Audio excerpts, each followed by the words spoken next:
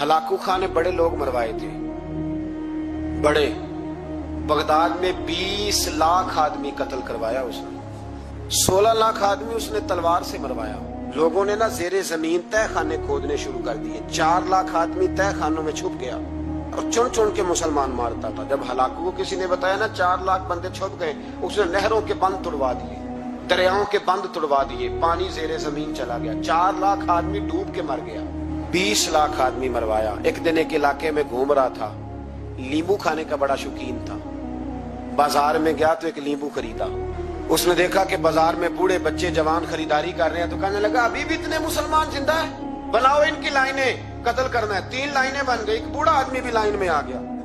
लींबू खा रहा है। उसको हल्का हल्का चूसता है। घोड़े में बैठा है। कत्ल करा रहा है लोगों को। एक बाबा जी पहली सफ में थे। जब पहली सफ कत्ल होने लगी, बाबा जी पिछली सफ में दौड़ के हो गए। हलाकू खां हंस रहा है, उसको देख के।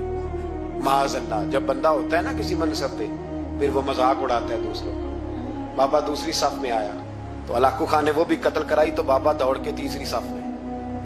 आखिरी सफ के कोने पे जब बाबा खड़ा हो गया ना तो सारे बंदे मर गए। बाबे को कत्ल करने लगा जल्लाद। अलाकू कहने लगा, ठहर जा।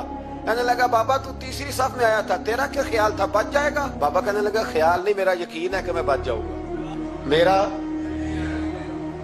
शर्त यह है कि यकीन हो अंदर। शर्त यह है कि हंस के कहने लगा लाकू खां कैसे तो बाबा कहने लगा, अगर अल्लाह चाहे तो बच सकता हूँ। अगर अल्लाह चाहे तो मैं, बहुत सारे लोग हैं, डॉक्टर लिख के दे देते हैं, नहीं बचेगा, वो बच जाता है। क्योंकि बचाने वाला अल्लाह है अल्लाह चाहे तो बच जाऊँगा तो हलाकू कहने लगा, कैसे? जब ऐसे किया ना, कैसे?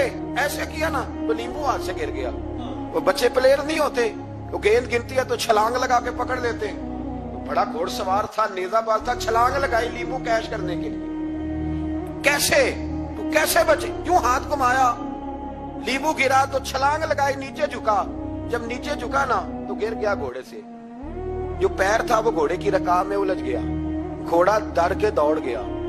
जब घोड़ा दौड़ा तो ज़मीन पर ज़ोर ज़ोर से सर लगने लगा। सिपाहियों कहता, दौड़ो, इसको पकड़ो। सिपाही भी दौड़े, पर घोड़ा काबू ना आया। घोड़ा उस वक्त रुका।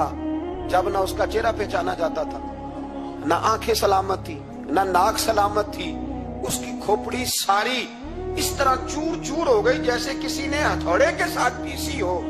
हलाकू की लाश से खून बह रहा था, बाबा हंस रहा था। एक सिपाही कहने लगा, बाबा, तू क्यों? कहने लगे, मैं अपने रब की कुदरतों पे मुस्कुरा रहा हूँ। हफान वजब का वजह का जुल जलाल वाली कराम का मैंने इसे समझाया था कि बचाने वाला बचा लिया